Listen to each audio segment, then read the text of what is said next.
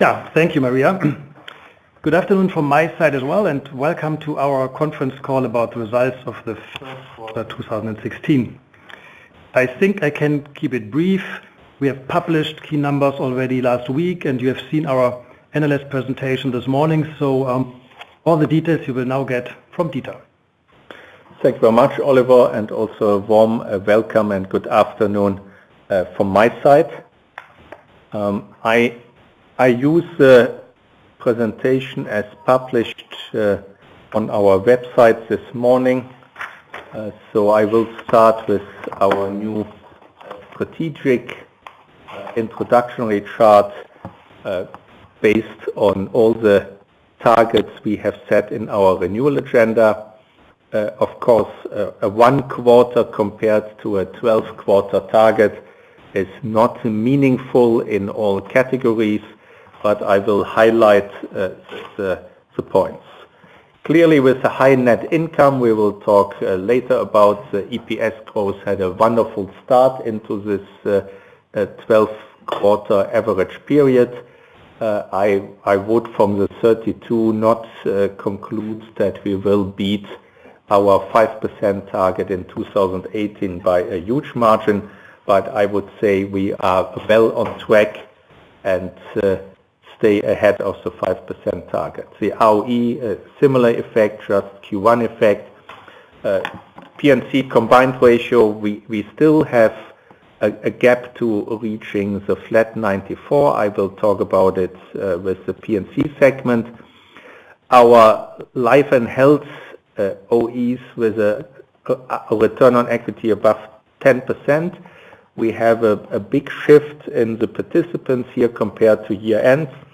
The stable one is our German life business, which ended the year with 25% ROE and started the year with 25% ROE, where the other uh, are really moving in and out. The U.S. was in at year-end, is now out. France was not in, but it is now in, and Italy moved out. Benelux moved in, and our German health business moved out because we had a fairly large booking uh, on increasing risk risk reserves uh, for the health book, which will normalize over the quarters. So you see still a lot of volatility uh, with the two disclosed transactions on Korea and Taiwan, which are not yet in the numbers because the transactions are not closed. But with the closing Uh, of the two transactions, certainly these are two two countries which can permanently move out of the category below 10%. Uh, new business margin, I will talk about later. Interest rate sensitivity uh, um, down two points compared to year-end and on the right track. And on PIMCO, I will, uh, on the cost income ratio, I will also talk later about, and the other measurements are actually not not done on a quarterly basis. So here we just put left in our year-end numbers, so they are probably more ad memoriam and not giving a a quarter view. So let's move now to the uh, usual numbers. Revenues down 6%, of which a good 1% is FX. Uh, Life is the driver for the reduction, and it is our wanted reduction in life because we sell life not for volume but for value, and we are up on new business value, and that is how we drive it. And also on the risk consumption of the new business, we are moving in the right direction. Later you get more. P&C plus close to 3%, and uh, asset management uh, double digits down in revenues. Uh, we talk about it when we look at the asset management numbers. Operating profit overall, I must say, I feel with close to 2.8 billion, we are repeating the strong start of the year from last year. And personally, I like this year's first quarter result more than last year's first quarter result. I I tell you why. Because our life business last year had in Q1 a lot of one-off effects from high realized gains. Uh, we did last year a lot of changes in our asset uh, portfolio in the life segment uh, in last year's run for the low yield environment. So therefore, there was a lot of realization in it, which did not repeat this year. And this year we booked also another uh, 82 million uh, loss recognition operationally in our Korean unit, because also in Korea, the 10-year interest rates almost dropped 50 basis points in Q1, parallel to other currencies. So and uh therefore, I I think the quality of the result is really good. Asset management is uh, Uh, following uh, the outflows, in particular on the retail space over the previous quarters. We see uh, 90 million less operating profit. And the corporate segment, well, has another effect from our internal pension. I actually put it in writing already a year ago in our explanation for Q1 that there is a high chance that it repeats in uh, this year. And I can repeat this statement and say, and there is a high chance that it repeats again next year. Um, and then we have a positive effect here uh, from uh, some Korean interest rate hedging, which explains the plus 27 million. So overall, I think a really good number, uh, pretty much uh, same same level as a good start last year. And then let's move to the next page page seven. And Now we are approaching the, probably this big topic of uh, capital and solvency. Sure, low yield environment is the best friend for fixed income price, asset prices. So shareholders' equity at a new record with 67 billion. However, how is the economic picture for it? And that is the Solvency II uh, capitalization, which is down uh, 11 points uh, on market movements and four points opening adjustment on a change the German regulator has done on a tax treatment in our life company. That is a little bit of a complicated story as everything in Solvency II. Uh, but also I have to apologize that I did not watch out more in February, uh, that this could have an impact. Because uh, it is a treatment of the unassigned policyholder surplus, which is a pre-tax figure in, in German local statutory accounting, and was also a pre-tax figure in all our models. So uh, the regulator said, "No, in your model, you have to use it as a post-tax figure," and the the tax is still unpaid. That means it is still a tax buffer in the local entity. With this change, uh, actually BaFin took pretty late in February. The consequence is that actually the local solvency ratio of our German life business went up because it gave more flexibility of this tax buffer in the overall modeling. However, the transferability of uh, uh, AFR from the life unit to the group changed in the aggregation formula, and the group is losing four points, although we have still the money available and the OE solvencies are all higher than before. So, and that is not a decision on Allianz model. That is a decision for all German life companies, whether you use standard model or internal model, it is for all the same. So it is nothing special for us. But also, I must say, I was a bit surprised that something which is in each entity positive ends up as a negative group effect. I had also to uh, to swallow when I understood the calculation. So now moving uh, the sensitivities I don't need to explain. I think they are all easy to read. Let's move to the next page and explain more what happened operationally in, in with our Solvency II number during the quarter.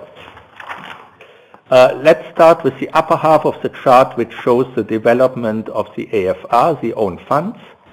Uh, we have created a waterfall chart actually mimicking uh, the prior MCEV development, so splitting between operational developments, market developments, and special effects.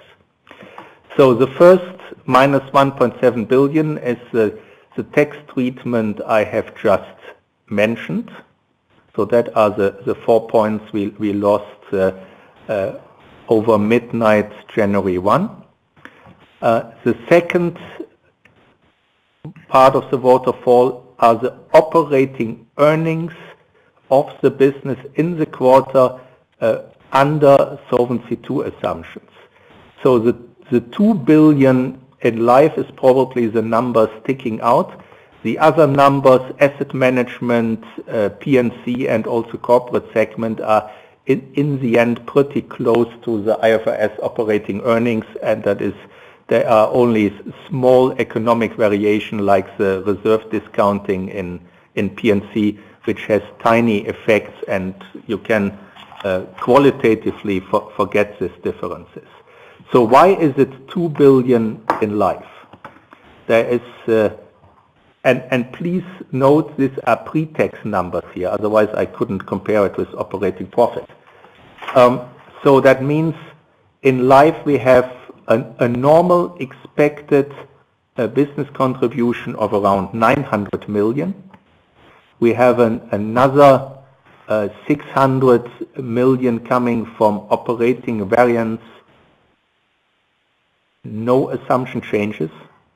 And the last point is a good half a billion uh, of value of new business pre-tax.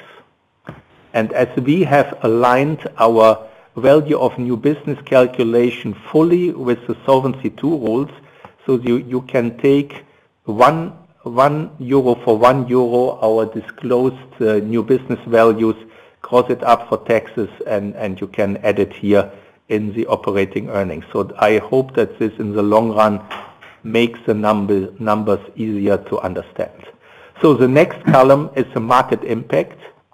5.8 billion down, you will say, well, that is a huge number uh, uh, and much more than we would have expected from your disclosed sensitivities.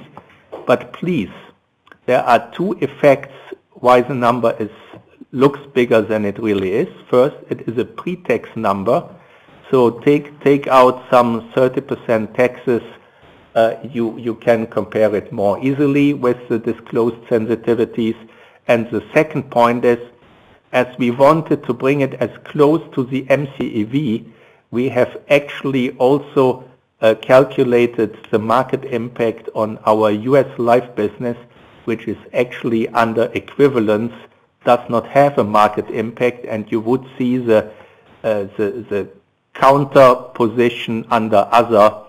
So therefore, here this 5.8 is is probably too big to estimate uh, the impact on our Solvency II ratio. Then we accrue for the dividend, and with 2.2 billion euros of net income and a 50% rule, you start in the first quarter with a big number, 1.1 billion uh, dividend accrual. So that is actually a good 3% of our solvency ratio.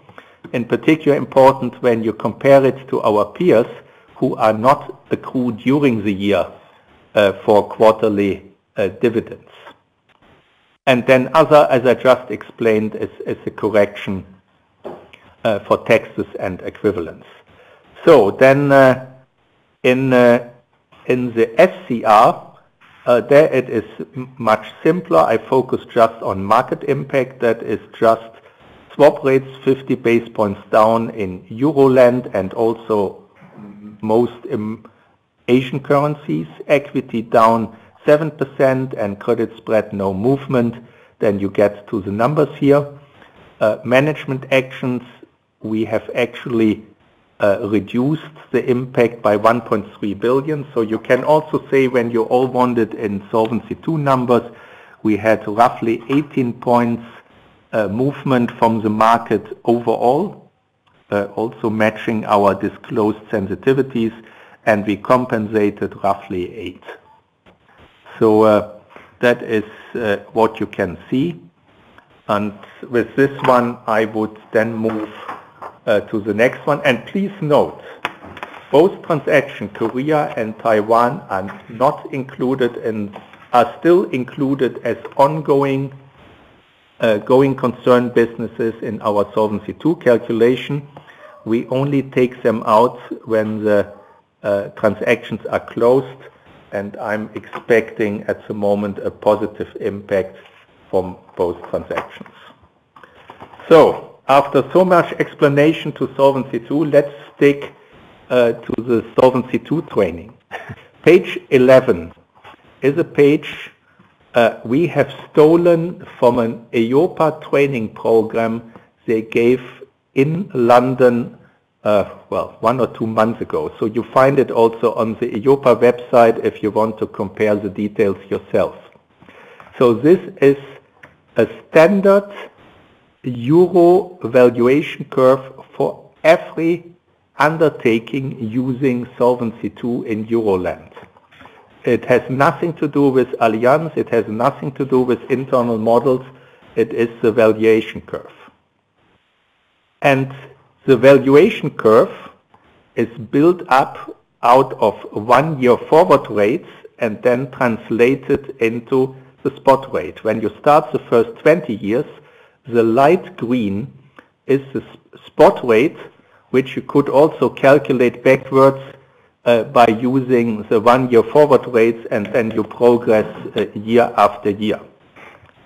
So the blue line is then an artificial spot rate created out of the observed first 20 years, and then using progressively on a year-by-year -year basis as a one-year forward rate, the 4.2%. And the formulas down there explain in detail how it is being calculated, but it clearly shows that even in year 60, we are, as undertakings using Solvency II, far away from using 4.2% as a discounting rate.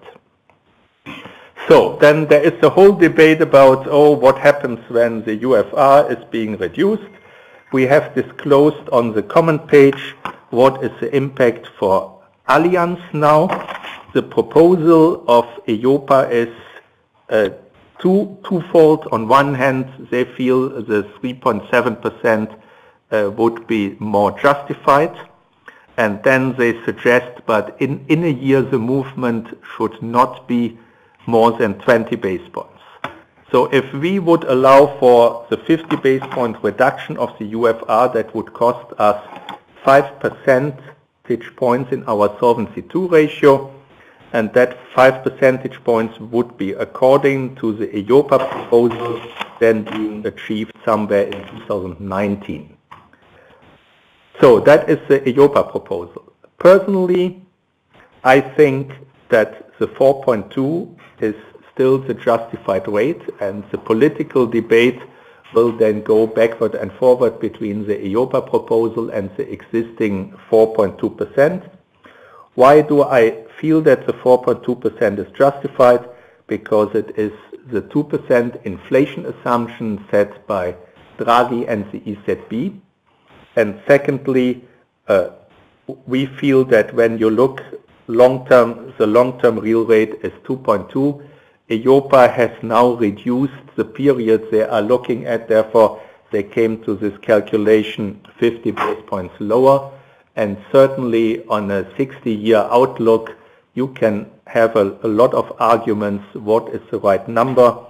Actually, I recently saw a chart from the Bank of England interest rates showing the last three, three centuries and then probably the good 2% is a better long-term real rate.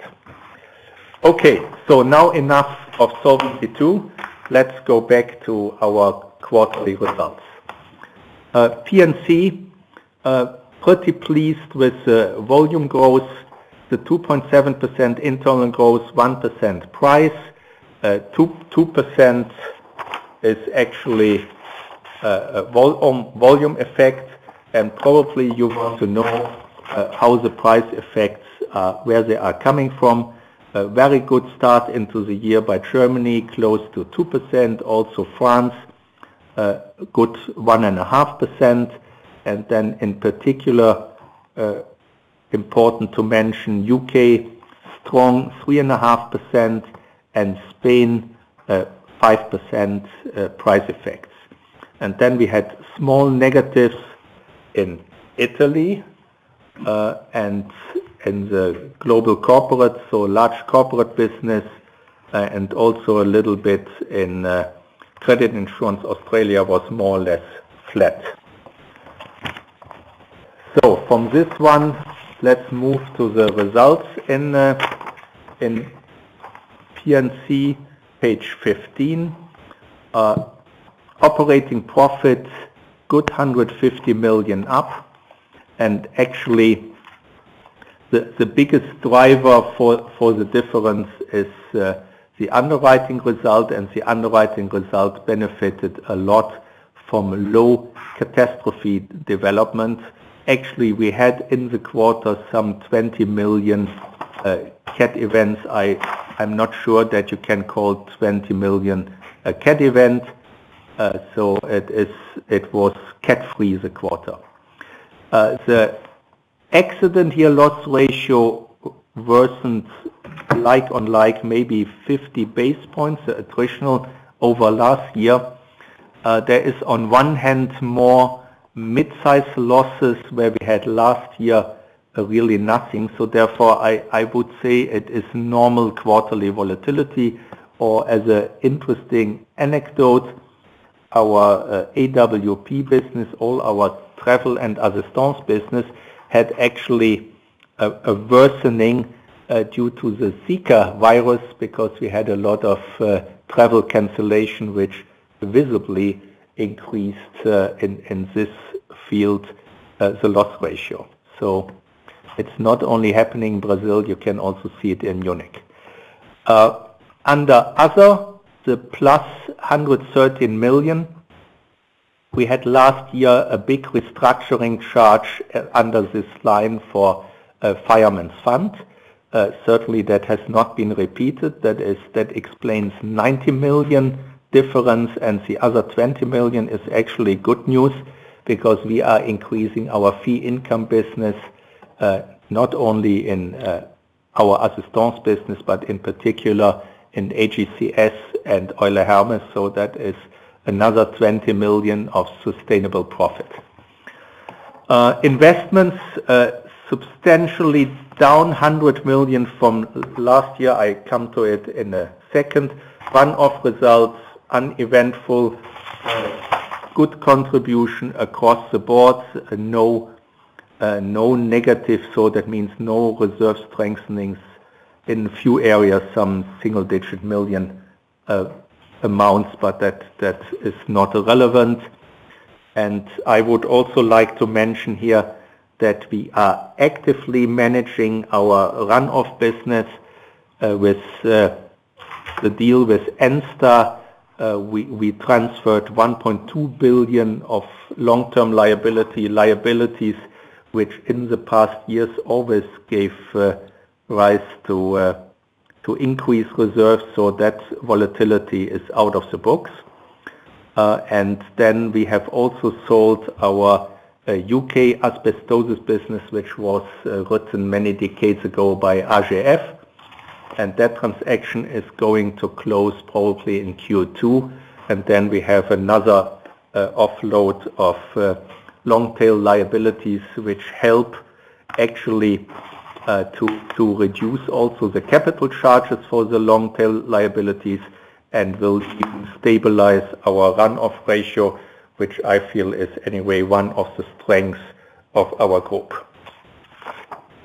So then going to uh, uh, the flagship OEs. Overall, I think excellent results. Now our our leader in underwriting profit by distance, Germany, strong 89 combined ratio, but also benefiting from a really really pleasant uh, winter.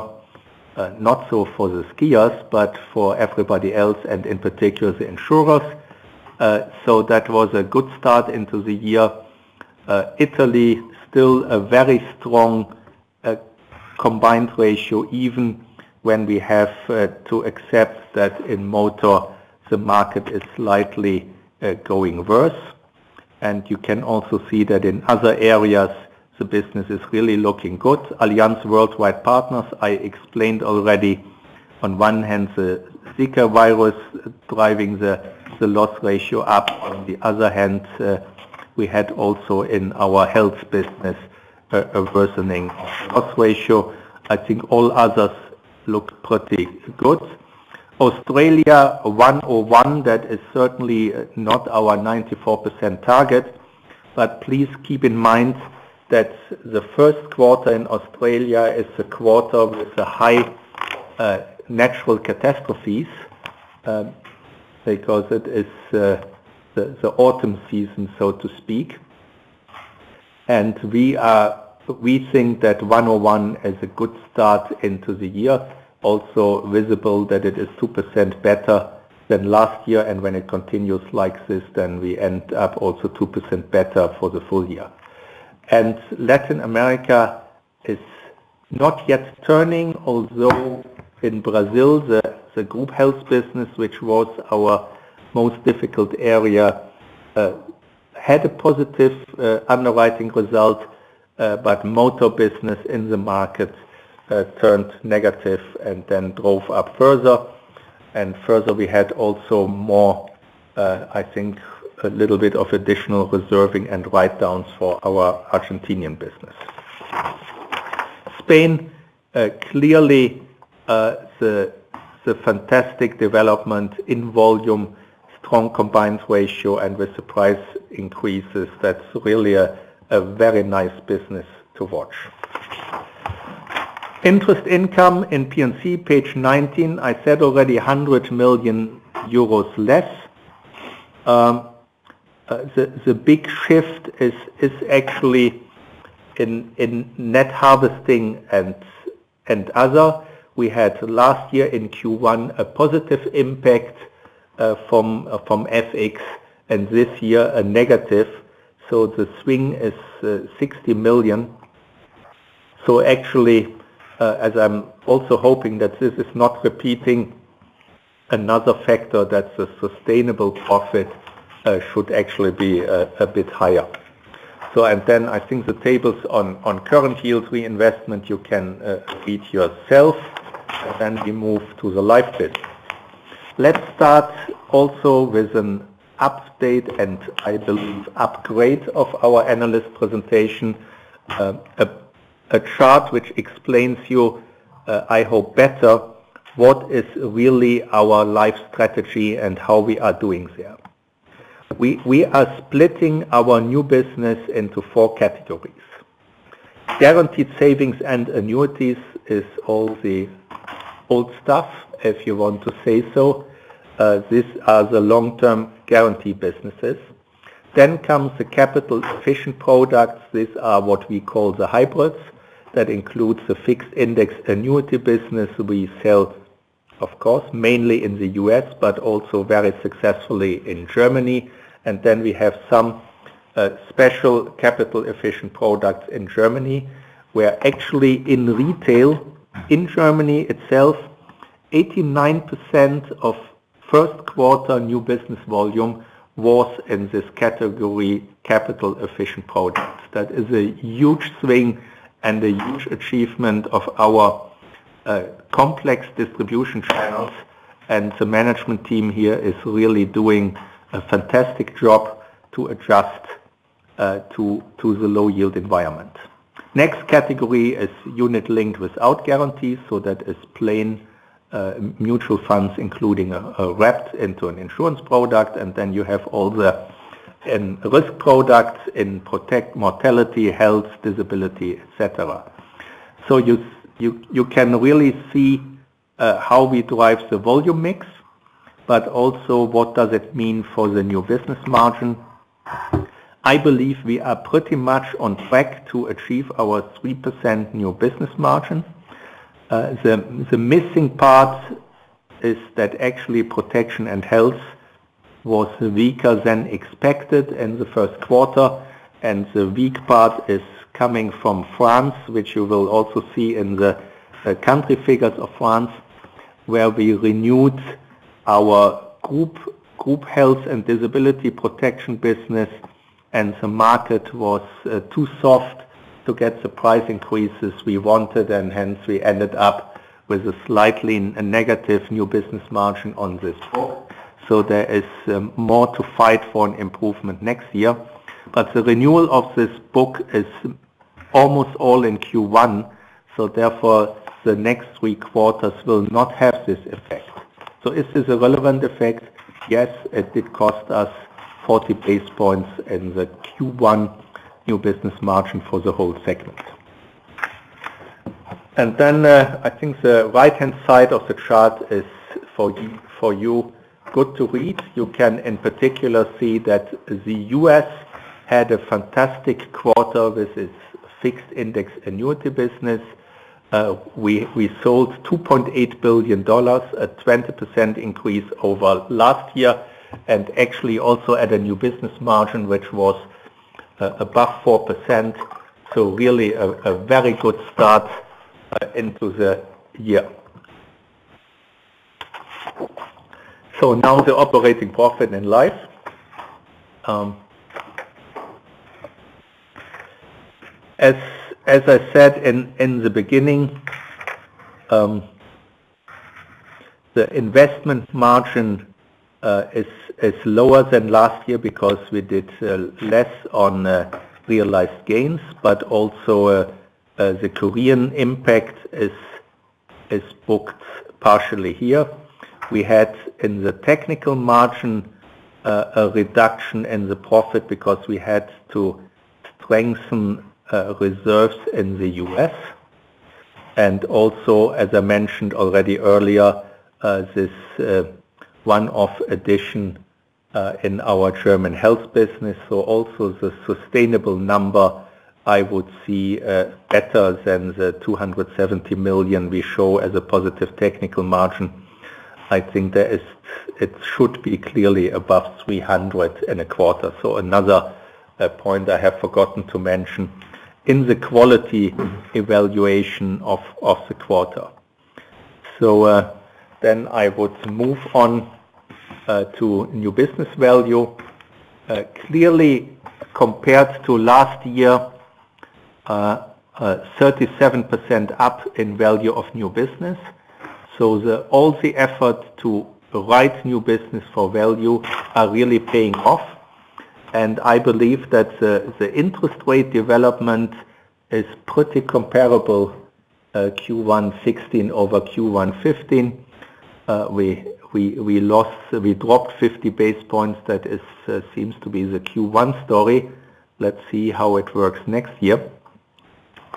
Although I'm this year less optimistic that we will see a recovery of interest rates over the summer as we saw it last year. Uh, so we have to make our 3% new business margin uh, in this environment. Uh, when we use quarter end interest rates, the new business margin would drop some 50 basis points. So what is then my expectation for the second quarter? As I said, that 50 basis points will be roughly compensated uh, by by the French group life group protection business. So uh, I would expect that uh, in the second quarter, we should be somewhere around the 2.5%. And as we have more measurements and activities planned, I believe even in the low yield environment, we can make our 3% uh, step by step over the next quarters. So as I mentioned uh, already to highlight a few strong figures, Germany above 3%, and I believe we will see even here an uplift in new business margin over time. Uh, U.S. with 3.5% probably at the maximum what they can do. In Italy, I would uh, look for an improvement and also in France. Asia Pacific will certainly benefit uh, from the disposals. For example, Korea had a new business margin of -0.6 in Q1.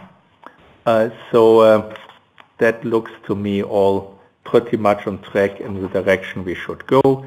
Page 27 is our uh, usual uh, due diligence page on can we still pay our guarantees and is any guarantee a huge risk for us? I think in the meantime, you should get used to this chart, and I can only confirm that actually we are still far ahead of our guarantees, and therefore we, we are in safe territory.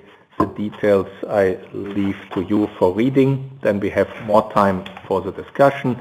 Now coming to asset management. Uh, AUM slightly lower than year-end. Actually, two drivers for it. That is actually uh, the dollar is weakening again, and uh, Allianz Global Investors heavily invested into active equity, uh, suffered with the equity market. Otherwise, I think actually PIMCO standalone and dollar showed a small plus in assets under management between end of the year and end of the quarter. Um, but as we are a euro company and last year benefited from the dollar, so I'm not complaining that uh, this quarter the dollar went in the other direction. Um, that are the biggest points. We had inflows in Allianz Global Investors in Q1 of a 1 billion. Uh, PIMCO continued with 10 billion outflows, uh, very much in the first month of the quarter, uh, but still showing a level which is very comparable what you see with our asset management peers in in the industry in active fixed income. The inflows are going to to passive. And I would still expect that uh, PIMCO, as I said before, and very consistent, the second half of the year, uh, we we are looking for a positive inflow number in total. However, with the, the outflows and in particular the cumulated outflows now over four quarters compared to last year, it's no surprise that I'm now on page 31, that the revenues are dropping by 12%. Actually, uh, when you look at PIMCO standalone, uh, we are more than, we are actually 15% down in revenues and Allianz Global Investors, well, 7% decline in the stock market translates roughly into a 7% decline in fees. So that is not a surprise, but we have also done here one correction. You see the big drop in the fee margin uh, at Allianz Global Investors. Uh, we found that we have done for years one position of Uh, advisory fees, always shown as uh, uh, assets under management related. As they were not, we kept them for the P&L, but we are not showing them anymore in this KPI here. So actually, the drop of the number would be much smaller. I think out of the 3.6 basis points in drop you see here, it's about uh, a good 2.5 base points are linked to this change in accounting, and 1 base point is mixed change of underlying uh, funds. So that translates then into a profit and loss statement of our asset management business, dropping 16% in euros from 550 to 460.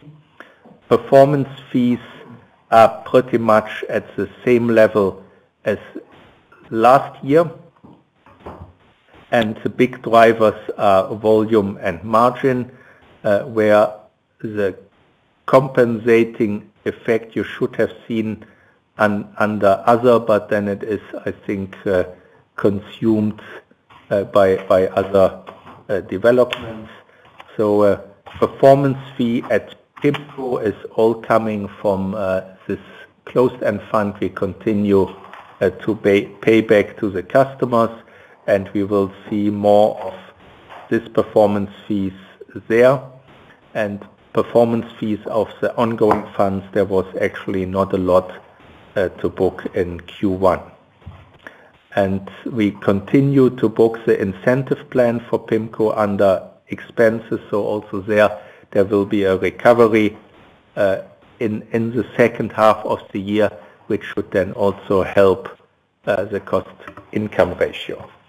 And with this one, I come already to the end of the story. Uh, corporate segment, uh, similar numbers as last year, operating loss of just 74 million. And Then I would go for operating profit to net income. We had uh, quite uh, a large volume of uh, realized gains in Q1. Quite a bit of it was a forward sale we did in April last year, selling one of our strategic holdings in China at a good market. The accounting uh, was with the completion of the transaction uh, in February or March. And then we sold also, uh, beginning of the year, some equity held here at the center and also some fixed income to change the asset allocation to our own pension liabilities for the German business, which we are having here at the holding company. And that created in total 568 million profits, where the part which came from equity, that was 400 something, was according to the normal tax rules, tax-free, and that results then nicely in a tax rate of 24. So, but Let me also pour some water into the wine. Um, we, when the transaction with uh, Korea will close, we are expecting roughly a 350 million IFRS loss. That would be then also a non-operating item. And unfortunately, as this is also a realized loss on shares, it is as tax-free as the gains were in the first quarter. Therefore, the 350 million will then flow through uh, pre-tax, post-tax through our net income. Even taking this into account, I think we had a very uh, strong start for the year in our net income operating profit and also in the business we are writing for value in P&C and life. Hence, we keep our outlook unchanged. I think it would be too early uh, to move away from the outlook figure. But having said that, strong start into the year, and now I'm happy to listen to your questions. Thank you. If you would like to ask a question at this time, please press the star or asterisk key followed by the digit one on your telephone. Please ensure that the mute function on your telephone is switched off to allow your signal to reach our equipment. If you find that your question has already been answered, you may remove yourself from the queue by pressing star two. Again, please press star one to ask a question. We will pause for just a moment to allow everyone to signal.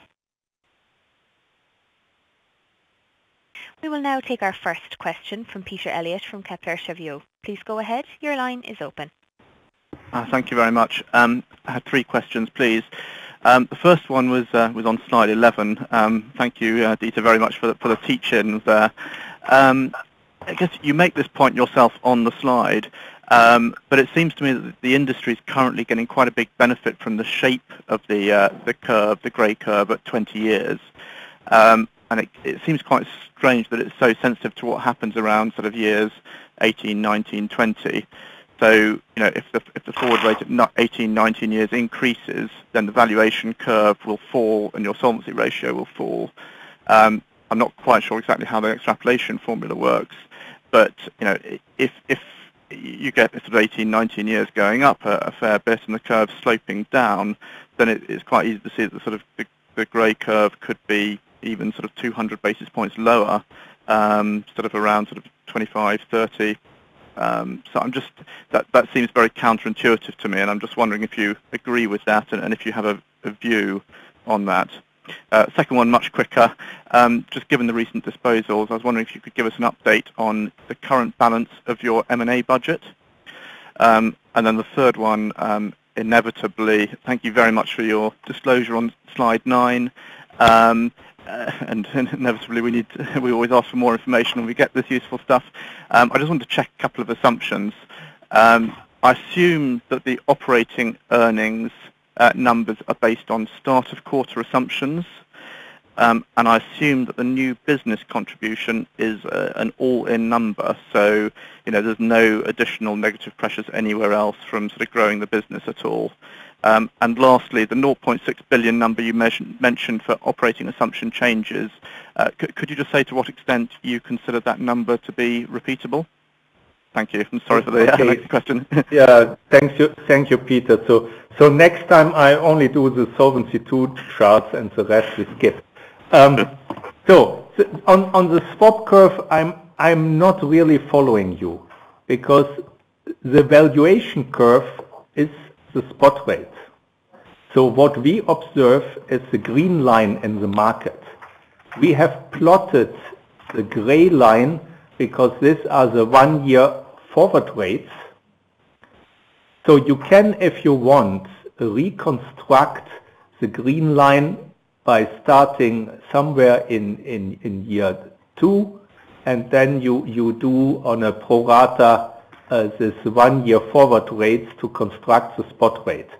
But yeah. the spot rate is in the end the spot rate, and whether the, uh, the two curves absolutely follow the formula we have added to the page, I'm not sure. But actually, yeah.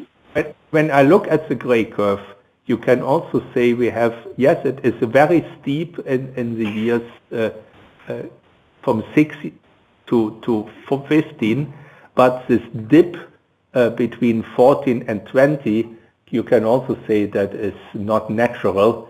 So actually our valuation and the spot rate is actually too low at the moment.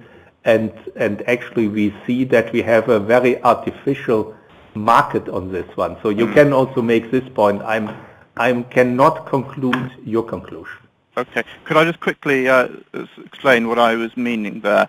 Um, because I, I, I, take your points completely, but my interpretation is that the blue part of the curve is basically calculated from the, the green curve at uh, 20 years uh, and uh, a combination of the green curve and the grey curve. And the reason no, no, no, no, no, no. It, it's no? the green curve, and then you you add every year this 1 divided by 60 of the 4.2%. That is the formula which, which is being shown here. Okay. Uh, perhaps I'll follow up offline with the IR. Apologies. Yeah, maybe uh, I think we that is probably for a longer discussion and would be good for a seminar, yeah. Uh, so let's well, actually, look at the valuation rate 21. We have actually put the formula in how you move from 20 to 21. Yes, and the 2.2% in that formula is taken from the green to grey curve, and you know it's quite a bit higher than the 20-year point because the curve is steep before 20 years, and so you've you know, it rises quite sharply after 20 years because of the Yeah, I think we take it off, otherwise we are doing the yeah. rest of the day, uh, this one here. Disposals, uh, I, I think we only update uh, in uh, the published M&A budget when the transactions are closed. I'm not doing now rough, rough estimates. but with the numbers I have given, you can do your own roll forward. And the last one, the operating earnings.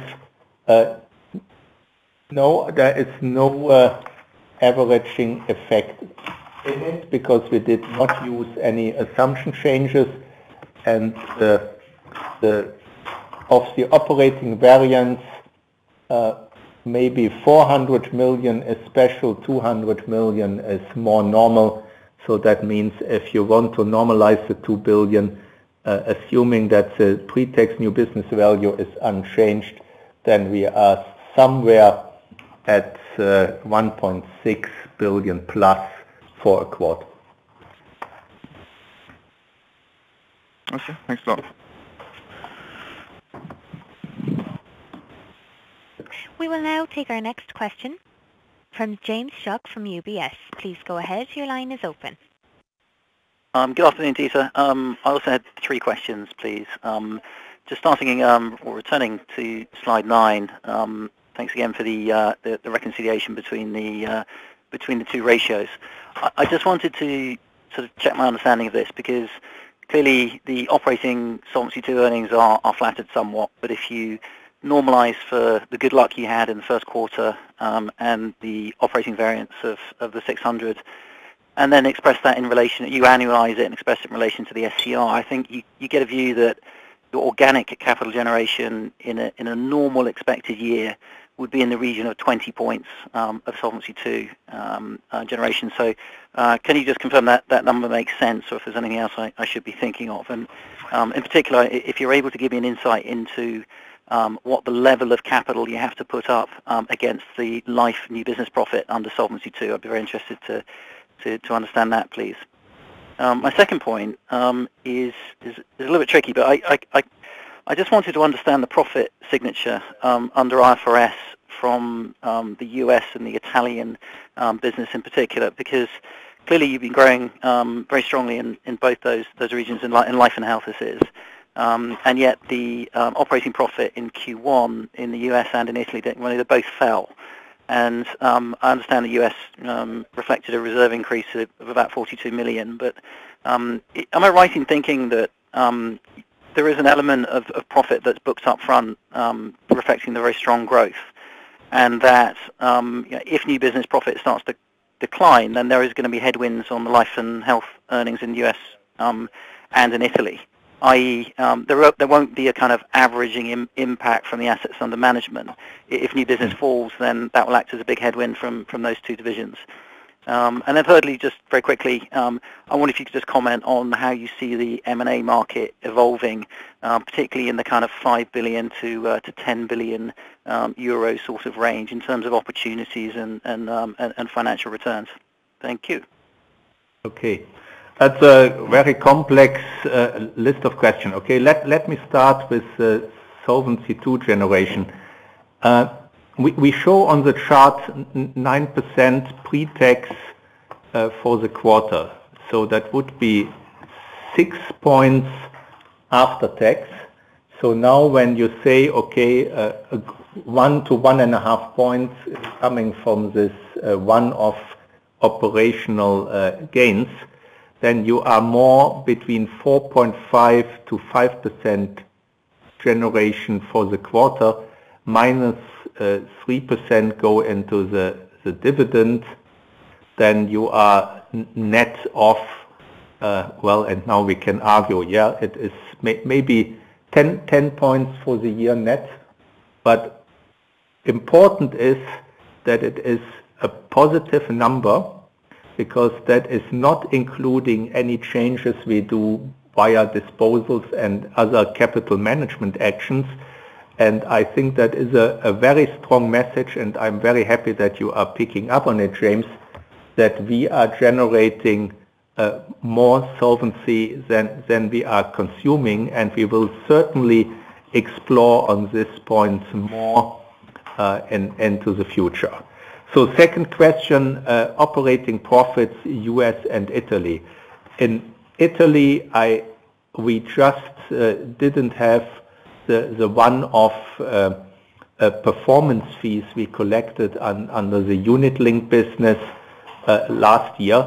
the stock market was not not really strong. That is the biggest effect on the Italian operating profits, therefore it declined.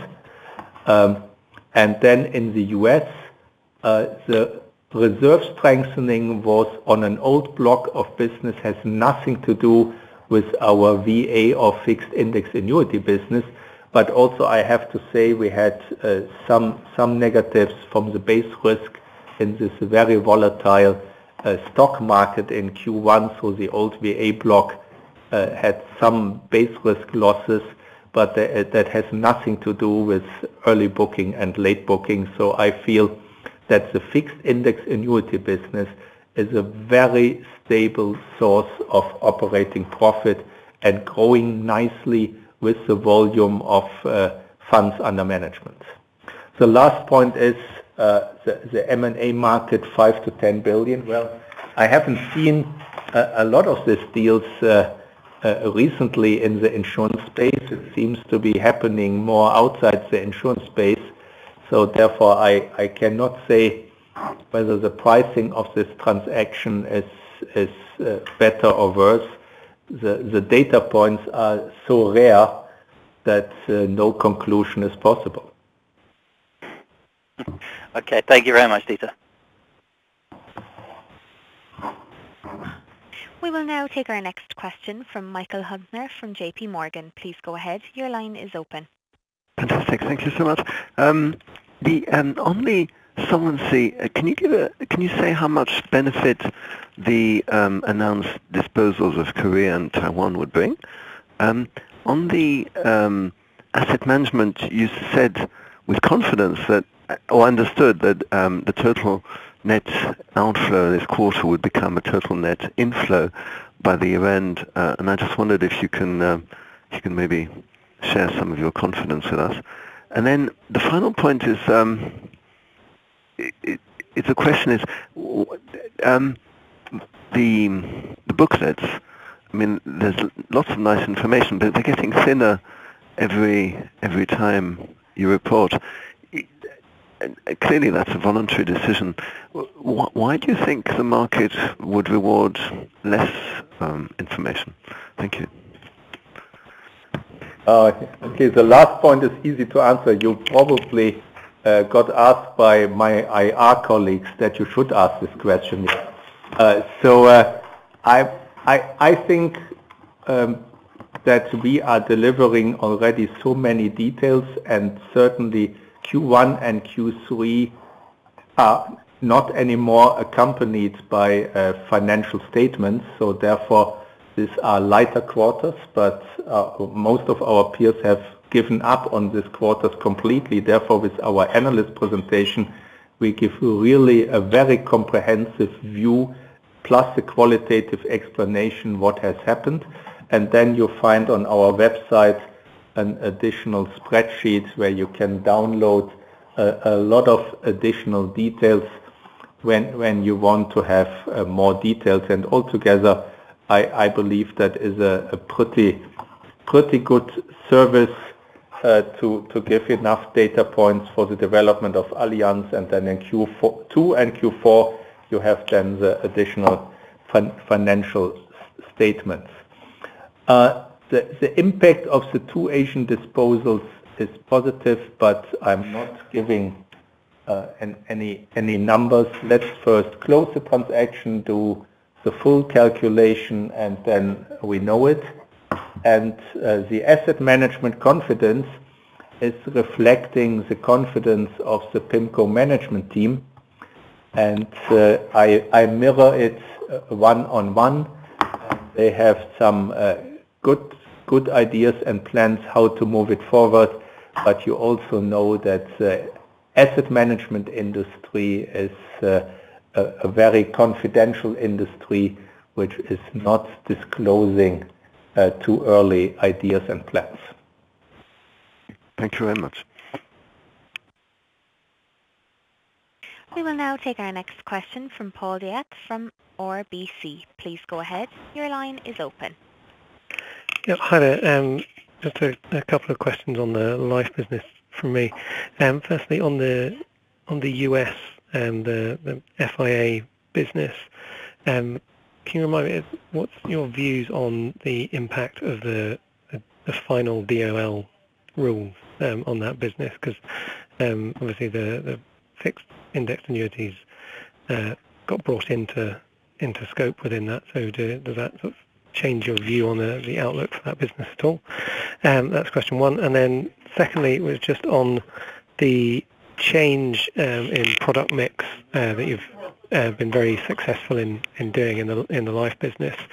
Um, you know, particularly um, in Germany, I think you said the um, huge huge proportion of new business that's going into capital efficient products now. Um, is there a is there a higher cost at the moment of uh, you know marketing those new new style products? Um, you know and the the changing distribution costs I guess um, of that shift that further down the line we might see fall away and therefore the the you know the VNB um, margin actually increases increases more into the future because of of lower ongoing costs? Or uh, is that is that not something that's really big enough to register? Thanks. Okay. Thank you, Paul. Uh, the, the, question with the DOL rule is not easy to answer. So let, let me offer you uh, two answers. Uh, first answer is uh, there is still a, a review of this DOL rule before it is truly final. So the, the, the whole story about what is the final rule is, is not yet over and is still under discussion. It, it could happen that the fixed index annuity business is dropping off this list uh, again uh, because it, it was it came also in uh, at, at the last moment.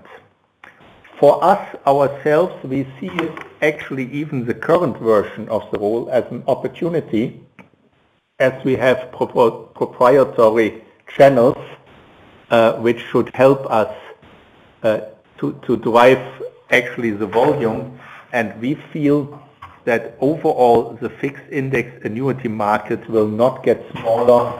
It, it actually could still grow with the, with the current version of the DOL rule and we see ourselves not as disadvantaged to participate in, in this market. So that is the, the two answers I can offer you. Um, very precise in Germany, we don't have higher costs included in this new business. Uh, however, you have a good point with your question. Uh, with uh, already announced reduction of the guarantee rate for traditional products from 1.25 to 90 base points from January 1 on, what is the suggestion of the German uh, uh, Treasury. So with this one, we believe that actually the customer interest in this new product continues to grow. Actually, the, the traditional products with guarantees below 1% are probably even more difficult to sell.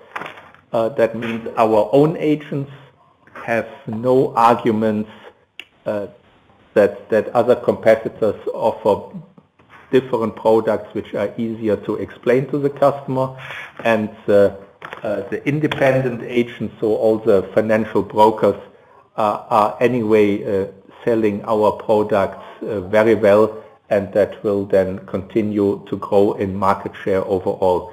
For us, we are, I think in Germany, our market position is, is really a, an excellent one. Excellent, thank you. We will now take our next question from Thomas Seidl from Bernstein. Please go ahead. Your line is open. Yeah, thank you. Good afternoon. Uh, first question um, on capital management. So let's assume that for the rest of the year you stay at 186% because what you earn is basically consumed by capital markets and you would have, let's say, 3 billion M&A budget left by end of the year. Would you still feel comfortable, you know, paying this back to shareholders, which would result in a 9% drop from 186 to 177? Or would you like to be at a higher capital level in order to execute, you know, this uh, capital return to shareholders? That's the first question. Second question, uh, asset management, uh, the revenue margin, you know, is going down uh, quarter by quarter. 40.9 is now the level. Is this the new normal in a way, or are we seeing further reductions on this important metric? And The third question in P&C, I think if I load it for normal nat cat, you are more in the range of 96% combined ratio versus a target 94 especially expenses are now trending uh, in the wrong direction. Um, so what are the actions uh, to get you to the 94%? Okay, thank you, Thomas, for the question. Uh, capital management, we, manage the company in a range uh, 180 to 200% as announced and explained at the Capital Market Day in November.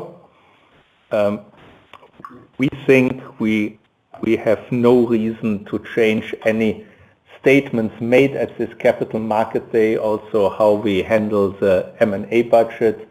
Either it's uh, it's M&A or uh, we return it to the markets. So um, on asset management, uh, in its current mix, the revenue margin uh, of this quarter is probably the best starting point for the upcoming quarters. Um, certainly midterm, uh, we have clearly to work on it, and that will be considered as part of uh, future strategic plans of our two asset managers. On the P&C ratio, I'm I'm not uh, fully ag agreeing with you. Uh, first of all, each quarter has a, a, a slightly different uh, base baseline. Our usually our full year runoff ratio is also better than the Q1 uh, runoff ratio. And as I said, we had in the attritional loss ratio some uh, some volatility in Q1, uh, which went in the negative direction. So our we had last year 94.5. I feel that we are still playing around this number as a combined ratio. But I said there is still a gap to the 94. So with this part, I clearly agree with you, Thomas. Mm -hmm. Okay. On the maybe one follow-up first one, so let's assume 185 is the number in Q4. Would you then be willing to go to 175, assuming you, you return 3 billion to shareholders, or is that violating the 180 to 200 tolerance? That would violate the 180, but uh, don't, don't worry. okay. Thanks, Peter. We will now take our next question from Farooq Hanif from Citigroup. Please go ahead. Your line is open. Hi, hi there. Thank you very much. Um, just going back to capital generation, um, going also back to, to what, what James um, James Shuck was saying earlier. Um, in num numerical terms, you're ending up with a number, you know, post um, kind of business evolution, increase in SCR. You're ending up with something roughly about seven billion a year and that number is materially bigger than your previous guidance on free cash flow. Um, now, I know that free cash flow is not necessarily the same thing as Solvency II capital generation, but I was wondering if you could just reconcile the two and which number you would um, recommend we use when we're trying to work out how much cash you're generating in the business and how much you're going to uh, possibly uh, be able to use um, going forward. So just to reconcile those numbers, you know, the 7 billion and the 5 billion that you've talked about historically. Um, also, going to uh, capital light products, when, when, you look at the profit uh, under IFRS uh, as a percentage of reserves, it's, it's a very decent margin compared to the guaranteed product business, which is, I guess, not surprising. Um, what is the sort of average capital consumption um, of that business? Is it, is it a quarter? Is it a, a, fifth of the guaranteed business, just, just roughly? uh, and the last uh, question, actually on AWP, um, to what extent do you think there's a bit of a, a repetitive um, potential continuation of, of poor combined ratio in that line? Because that's obviously been high growth, decent profitability. Just wondering to what extent we should worry that there's a, uh, a reduction in profitability for more than a quarter. Thank you. Um, let, let me start backwards with uh, AWP. Uh, I, I don't I don't think that it is a, a, a long-term deterioration, um, but it it might be still in in Q2. Um, on on the seven billion number, uh, well, there is still some uh, uh, variation, and I said 400 million is is still was still a one-off, so therefore you you get a bit lower than 7 billion. And also, please, this is a pre-tax number. When you want to make free cash flow out of it, usually the taxman wants his share, and uh, therefore that that is then maybe a bit going uh, too far out of the life segment. But overall, I think we are in in a in a good way to manage our Solvency II ratio going forward and still can pay an attractive uh, dividend. May I just return on that, actually? So no, the 7 billion, yeah, I maybe I should have shared my back of the envelope calculation, but I mean, I'm taking tax off of that number. It still seems to me to be materially higher than, than your guidance on cash flow. But obviously you don't recognize that. Yes, but look, the, the guidance on cash flow was the real cash flow. Here you have still a, a, a Solvency II calculation generating surplus, but whether you can distribute the surplus let, let's take a, a, company who is only doing unit-linked business. You produce very stable and nice uh, value in force, and if the company has not a lot of capital and has high new business growth, then there is no cash to be distributed because uh, no supermarket, uh, even in the UK, will take value in force as a payment. And uh, Therefore, you couldn't distribute the value in force, although it is generated surplus. So therefore, to translate from surplus, Solvency II surplus generation to distributable cash in, in printed bills is still another step.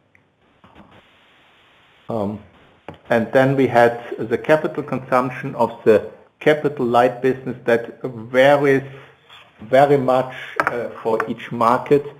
Uh, I, I can tell you my, my favorite example is Germany, our product Perspektive, which is one of our big, big sellers in the German retail space, has roughly 30% capital consumption, let's say for a single premium of 100,000 euros compared to the uh, traditional product which looked for the customer at first glance pretty similar.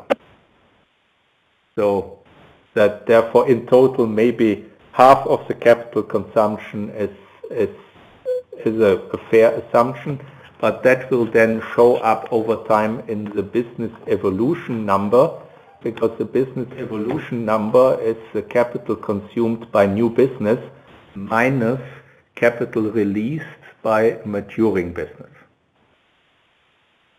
Yes. Thank you very much.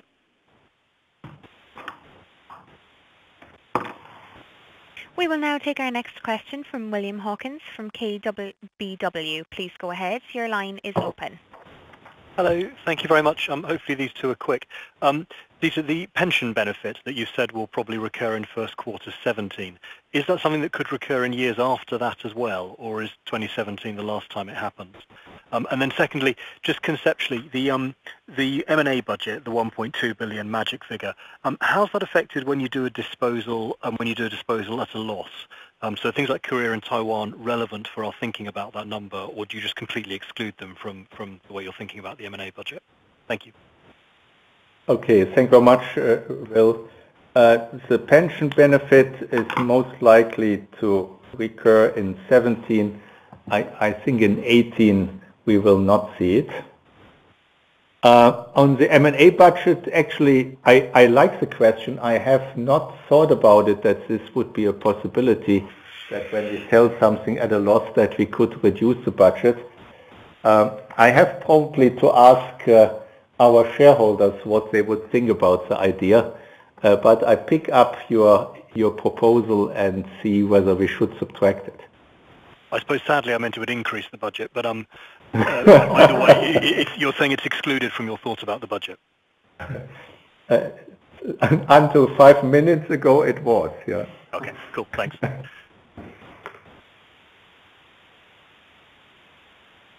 We will now take our next question from Federico Salerno from MainFirst Bank. Please go ahead. Your line is open. Uh, yes, thank you. Um, uh, these are two questions, both on P&C for me, please. Uh, the first is on France. You have an excellent combined ratio there, still at 95, with the spread uh, uh, relative to the market getting wider if possible. Do you have a view uh, how much better it could get from, from here? Um, that's the first question. And the second is on Italian motor.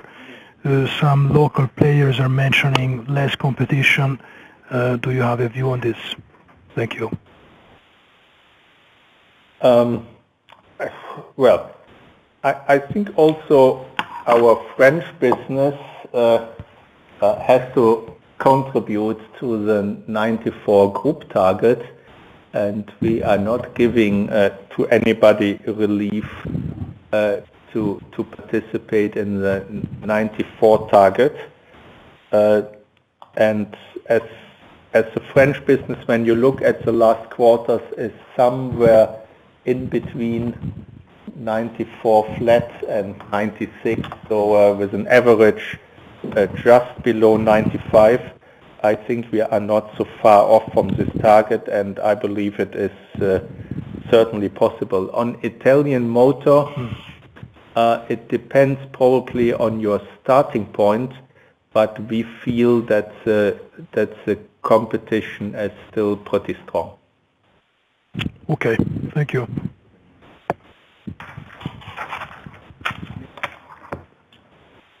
We will now take our next question from John Hocking from Morgan Stanley. Please go ahead. Your line is open. Oh, hi. Uh, good afternoon. I've got uh, three questions, please. Um, firstly, looking at the reinvestment yields, um, both in sort of life and P&C. Um, I notice you look at sort of Q1 on Q1, uh, the gap between the actual reinvestment yield and the economic reinvestment yield has widened. So I think it was 10 points uh, last year in life and health. It's now 20. It's 30 points now in P&C, and it was 20 bips. I just wonder whether that's a sign you're actually reaching for more um, or taking more risk to reach for yield in, in that business. What if you could comment a little bit about how you see the risk of reinvestment? First question. Second question, um, looking at slide 21, where you've gone through the, um, the, split of the new business by product bucket, um, I think it's a really helpful disclosure. I wonder what the earnings and the capital would look like if you split it on a similar basis. Uh, and then just finally, just um, in, in the work you've done in terms of reducing the interest rate sensitivity of the um, capital base, um, you know, what scope is there for you to lengthen the asset duration more, and what have you been doing in, in 2Q subsequent to the quarter end? Thank you. Okay, thank, thank you. Let, let me start with uh, uh, reinvestment yield. Um, well, the, the, disclosure, I, I actually, uh, I, I did not explain it uh, during my presentation.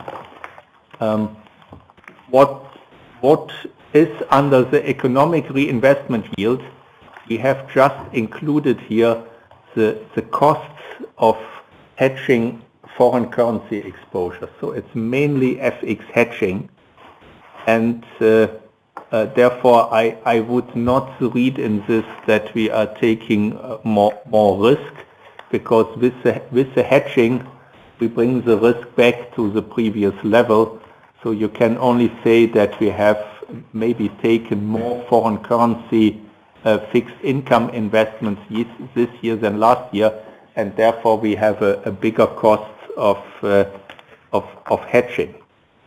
Uh, so the new So, business... sorry, sorry, sorry to interrupt. Is, is the issue then that you've actually you've you've proportionally invested more in, in foreign currency, or the cost of the hedging has gone up year on year? Uh, I I think it's more uh, volume driven and not cost of hedging. Okay, But thank you. I, um, but it is uh, probably decimal points, so uh, uh, t- tiny movements. Um, The the return on capital for the individual buckets of new business, uh, that is a bit uh, similar to the uh, to Farooq's question on on the consumption, capital consumption of our capital efficient business. Yes, we we have to work on this additional dis- disclosure, how how the capitals. And we have at least disclosed on the previous page the operating profits coming from the from these four buckets um, to to give also the capital returns by buckets. Uh, We have to think about it. Mi- Might be an idea for our uh, when we do an, in end of the year more a full update on where we stand with our strategic agenda, uh, that we could also include uh, something about it.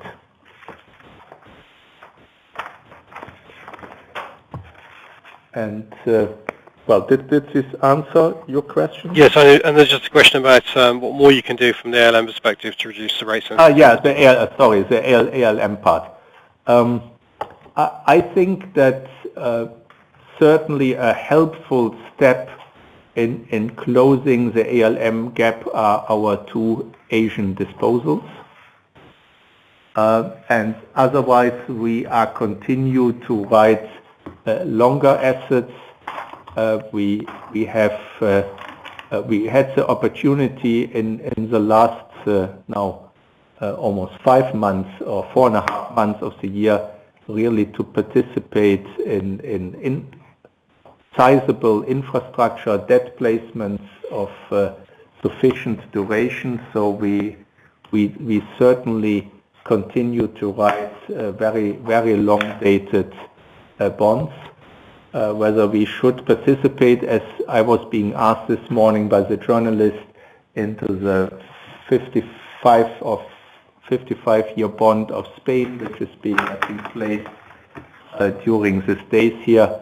Uh, I I don't know. I'm not sure that we have 55-year-long liabilities we want to match with this bond. So, but um, that is a decision of our asset management guys whether they feel that we get enough margin out out of this bond.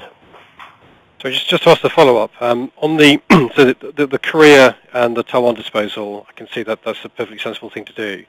But your your ROE target for the life entities, so to get everything by to 10% by the end of the target period, it, that is a very volatile metric. I just wondered whether there is actually underlying that a sort of more value-based metric. the actions you've taken to date seem to be based more on economic capital absorption rather than on GAAP equity. So is there actually an Um, underlying metric as well as the? ROE? Uh, Yes, that that is uh, that is on one hand true, but we- we will evaluate each of our entities whether they achieve a sustainable 10% ROE number. What we can only disclose here uh, in in the numbers is the actual number without any adjustments. But in our internal judgment, when we look at it, uh, actually we, we look for a sustainable 10% ROE number. And when we get our new business mix driven through, when we make our new business margin at 3% with uh, smaller capital consumption for the uh, our capital efficient products, uh, plus the f- fact that probably everybody will over the years also work on their expenses, I, believe that we can create also more sustainability in this number even if there are quarterly uh, jumps uh, backward and forward on, on realized gains and losses from investments. Excellent. Thank you, Dieter. We will now take our next question from Michael Hayes from Commerce Bank. Please go ahead. Your line is open. Thank you very much. Good afternoon. Two questions. Um, can you shed a little bit more light on uh, the weather, weather-related losses in the first quarter? To my understanding, you expect normalized 2.9% weather-related losses. Nat cat was only 0.2%. How much was the, the, the weather-related uh, um, uh, losses. And I understand that the definition of weather-related is somewhat difficult. Second question, you mentioned um, a negative impact from German health on the operating profit.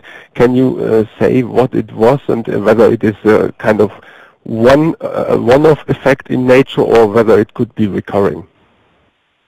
Uh, that was uh, just a strengthening of uh, loss reserves for health claims, that was a, one-off effect. I, must say it's probably even normalizing during the year. It is more a one-off for the quarter. It is probably a, more a nil effect for the year. So it is more a timing issue than uh, a, real uh, cost. Uh, weather, well, actually, that is weather related. Usually the first quarter is is below our global cat budget, but the question always is what is cat and what is the weather? Uh, we we usually are, are, actually not even uh, calculating uh, all weather losses because you you, you have uh, well slippery streets uh, and even if you have thousands of accidents because of ice and snow, you will never summarize it to a, a cat event, even if it was very costly. For us, a cat event is something which gets a number as an event and potentially ends up uh, being paid by the reinsurer. So uh, that is uh, the simple definition of a CAT event. We are collecting information to have the chance to get a reimbursement of the reinsurer. What is not reinsured, you, you, you never call a CAT event even if it was expensive. Uh, so therefore it is a bit difficult to say what was what. Uh, in two CAT events we just had 20 million in the year and weather related I would say we had one one percentage point of of the loss ratio overall what came from from weather. Um, in the second quarter, uh, certainly the industry will see uh, more cat events. The Canadian wildfire, which is uh, still uh, uh, devastating Alberta, is certainly creating a fairly sizable insurance event for the industry. We are not very big in Canada, so I don't think that it will hit uh, Allianz a lot, but it is a, a big industry event. Okay, thank you very much. So the, the, the weather-related and plus nat cat in in the first quarter, one could say it, it, it was one around 1.2%, and that compares to a normalized. take 1.2% um, it's a, a good assumption. And that compares to the 2.9% which you, on a normalized basis, expect for the whole year? Uh, yes. Perfect. Thank you very much. We will now take our next question from Nick Holmes from Societe Generale. Please go ahead. Your line is open. Oh, hi there. Thank you very much. Just uh, two questions. First is, coming back to your shift towards capital light life products, I wonder, Dieter, whether you could say that the objective here is growth or capital efficiency and capital return. And then uh, second question on Asia. You're exiting Korea, Taiwan. Do you see investment opportunities elsewhere? And if so, where would they be? Thank you very much. Um, yeah, Nick, thank you for the question. Well, actually, uh, we believe that the capital efficient products offer both growth and capital return because the construction of the products allows us actually uh, to run more attractive in investment portfolios for our customers and hence uh, the long-term customer return is improved compared to a traditional product where you are with the ALM and, and the low yield environment always for, almost forced to end up in fixed income uh, only. So therefore we, we really see it as the right application for the industry. Selling just a wrapper around unit links is not what an insurance company can focus on. Then you can, then the customer can go to an asset manager. Actually, we have a very good one, and we can sell uh, our asset management mutual funds directly to the customer. So it is not covering the same need of the customer. Therefore, we are a strong believer that when the life insurance industry wants to have a, a right to exist and to cover uh, customer needs, you need more than unit linked. That is our philosophy. I know that the philosophy is not fully shared by others, and I also admit that we have also markets where we are relying still too much on unit-linked uh, business, and I'm not against unit-linked, but it is not good enough as a long-term strategy. That is what I'm saying, and we will, in the countries where we are currently too much dependent on unit-linked, certainly introduce also our capital-efficient products, and therefore in our disclosure, we're keeping it clearly separate from the unit-linked box because we see it as true long-term life insurance business and opportunities for our industry and not just saving capital uh, and, and shifting the, the investment risk to the customer. Uh, in uh, Asia, uh, yes, we, we see Sorry, Asia... Just a quick, a quick, a quick follow-up uh, to your comment there. Um, do you think that, therefore, that um, the growth prospects in life will actually be quite good from this shift to capital light? Yes. Okay. Definitely. Otherwise, I, I, we should uh, change our strategy immediately because a company which doesn't grow dies. That's great. Thank you. And sorry, with Asia. Uh, with Asia. Uh, yeah, we we are expanding our uh, bank distribution in Asia, in Southeast Asia in particular. Uh, well, uh, Korea was actually not anymore an Asian growth market. Korea is, is a, a matured market. Uh, therefore, when, you, when you buy and invest in businesses in Asia for high growth, then uh, Korea is probably not the place uh, where you would start. Uh, and uh, in Taiwan, we have not reduced our new business capabilities at all. We have sold a legacy book, and we are not transferring any employee, and our new business mach machine is completely intact and will continue to, to grow the business. Taiwan is a great place uh, for gathering and accumulate assets. We are, I think, also on the asset management side in combination between PIMCO and AGI, the, the largest foreign asset manager in the country with a, a very good market share and a, a, very good growth perspective. So that is certainly a market we, we like a lot. And otherwise, uh, the Southeast Asian places, we are growing our business. China is a a longer discussion that would probably now go beyond uh, the time we have for the call. Um, but it, would it be correct to say that you do see uh, material investment opportunities in Asia? It is a territory that you're looking I, I would say expand. good investment opportunities, the word material in context of a group which makes 120 billion revenue and 6 billion net income plus uh, is uh, the word material is always a big word. Okay. Thank you very much. All right, it's already half past three, so I guess we have time for one last question, please, if there's any. Yes, we will now take our last question from Vinit Malhotra from Mediobanca. Please go ahead. Your line is open. Oh, many thanks. Uh, thanks. I'll keep it really quick. Uh, just, you know, uh, in the P&C, so one on P&C, please, and then one on PIMCO and one on Life, all quick ones. P&C, the attritional improvements that we used to talk about from the turnaround operations, that slide was sort of not here because of this compact structure.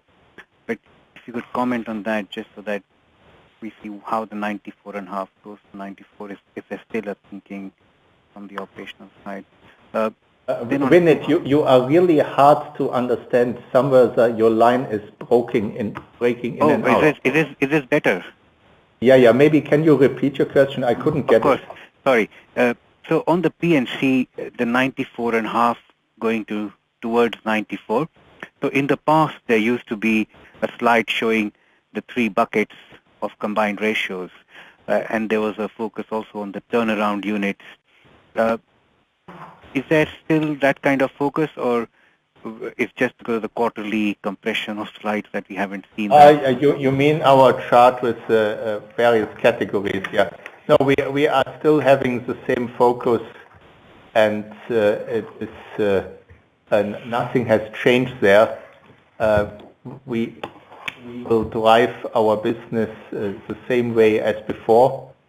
Uh, I see you all make a strong point for the uh, additional appendix, which I really think we should we are overloading you with information. Um, no, it is an unchanged focus, and the units which are on the list um, above 100, well, you can see it uh, easily. It's uh, Brazil and Argentina still stick out there um, and are the the main areas. And at the moment, AWP is also moved above 100, so uh, we have to to watch out, as some of you also observed, that we have to see that it's getting back on track. That are actually the, the main areas to focus on.